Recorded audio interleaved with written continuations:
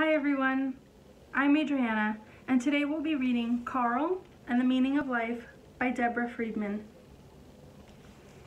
Enjoy.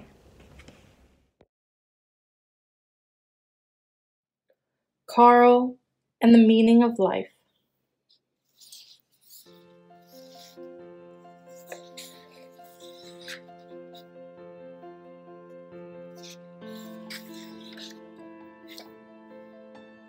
Carl was not a bird.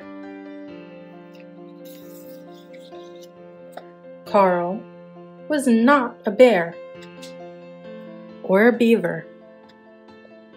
Carl was an earthworm. He lived underground, always moving, burrowing, tunneling, digesting dead leaves, feasting and casting, turning hard dirt into fluffy soil day after day.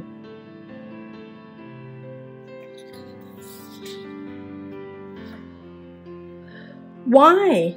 asked a field mouse gathering seeds. Why do you do that?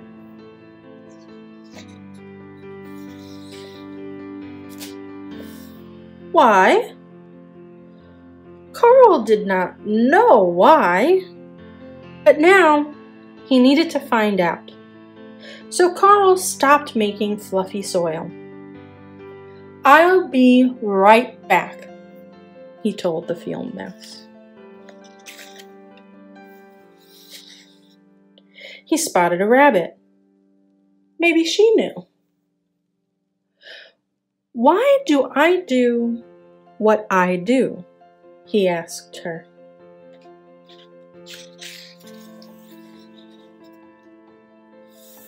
Oh, goodness dear, she said. I do not know. I do what I do for my babies. But Carl did not have babies. A fox appeared.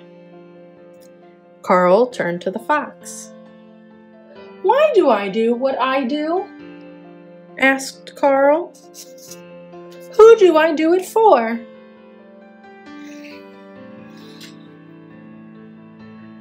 For whom? replied the fox.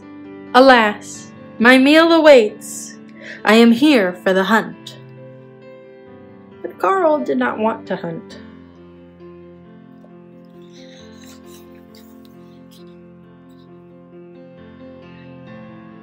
Why are you talking to a fox? cried a squirrel. Carl was startled. Because the field mouse is waiting and wants to know what I am here for. The squirrel declared, I'm here to plant trees. Trees are where I sleep. But Carl could not sleep not high in a tree, and not without an answer for the mouse. He pushed on. And on. Hours turned into days until the soil was no longer fluffy. The ground around Carl turned barren and dry while he continued to search sigh.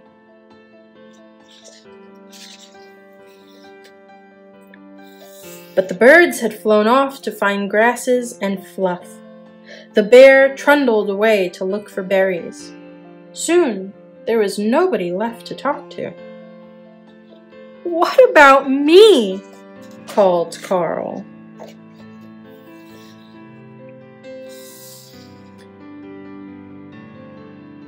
Clouds were silent. So was the air. I will never find out, he sniffled. Then Carl heard his sniffle echo, followed by a squeak. I can't find any grubs, a voice cried. It was the saddest ground beetle he had ever seen. Carl peeked under a stone. No grubs. Then he poked at the dirt. It was hard, like a rock. Where was his fluffy soil? Suddenly, Carl knew what he needed to do. I'll be back, he promised. For hours into days, weeks into months, Carl munched, digested, left casings, and tunneled and turned that hard dirt back into rich soil.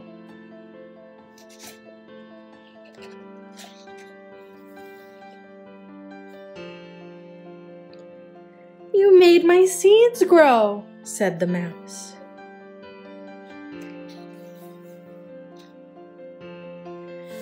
Clover blossomed once again, and the rabbit came back with her kits.